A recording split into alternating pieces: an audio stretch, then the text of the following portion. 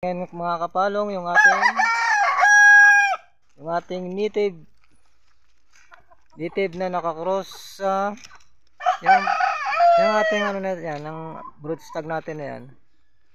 Trayo yan mga kapalong. So, pero yung bloodlines niya, yung kung ano man yung dugo niyang nakapaloob dyan, yun ang hindi ko alam. So yan. Bali itong inahin natin, native. Native yan. So tingnan natin sa kabila maliwanag. So, ayan. Ayan, mayahin na yan, mayahin. Oh. So bata pa yan mga kapalong, mga sa mga 8 months. Ayan, mga 8 buwan yan. So ayan, makikita natin yung tahid, ma maliit pa. So ayan. Oh, siguro mga kulang 2 kilo yan ang timbang na. Pero yung mga lahi niyan, simula pa sa pinag ah, sa pinagkalahian niya, talagang wala daw halos laglag, talagang gagaling daw yan. Sabi nung may-ari. So, yung bloodlines niya talaga, hindi ko kabisado. Pero yan daw ay trayo. Trayo daw ito, mga kapalong. So, yan.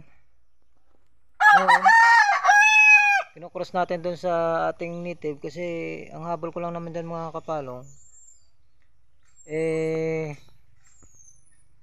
pag nakapalay siya kasi dito sa pro- pro- probinsya kat, kat, kalamitan mga ang nabili dito dito sa amin sa bundok puro mga kon lang din lang yung mga mga kon lang din lang na magmamanok na hindi naman talaga mayayaman.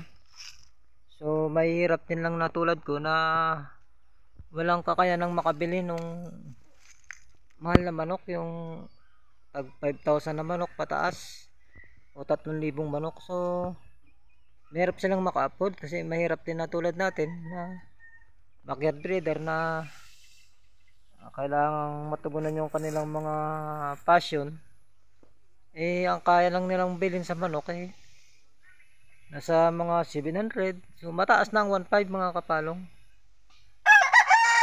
So kawawa din kasi kung tulad niyan kung magbibreed tayo nung uh, pure na mamahalin na yung pure mga kapalong salitang pure lang yun pero sa panahon kasi natin ngayon eh hindi na natin masabi kung mga kung may pure ba. Uh, kasi process na kasi yung mga manok eh sa iba't ibang klaseng bloodlines. So ang inaabol lang natin dito kahit 750 ang isang manok o 800 pag isa pa nga pag walang wala 600 na ibibigay na natin 500 ganun. So ayan yung kaya ng pera ayan.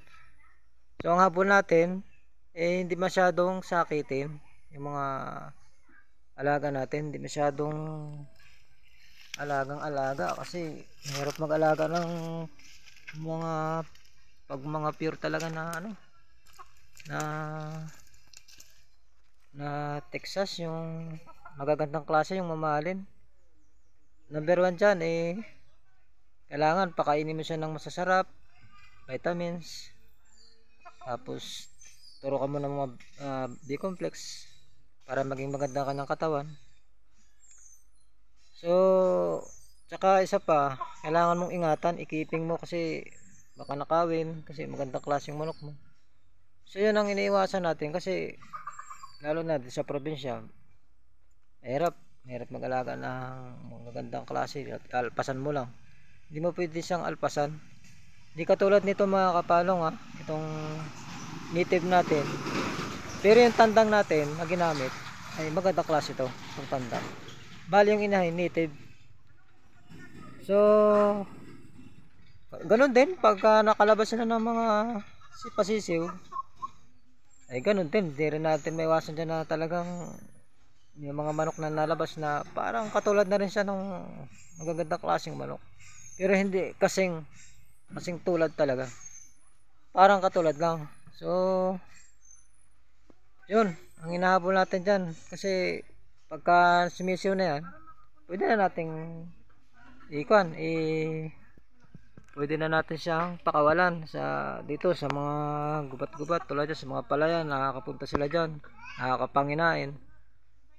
So yan ang habol natin. Yan katulad yan may mga mais na nakabilad yan oh. So anytime sila yan makakatuka libre so kung presyong ano presyong presyong tulad natin na mahirap tulad ko napakahirap ko lang naman na tao hindi naman po ako talagang may pera so katulad tong kulungan na ito eh Hinihingi ko lang yan sa mga sa mga may kakayanan na hindi naman na ginagamit. Eh, hinihingi na lang, repair-repair lang natin.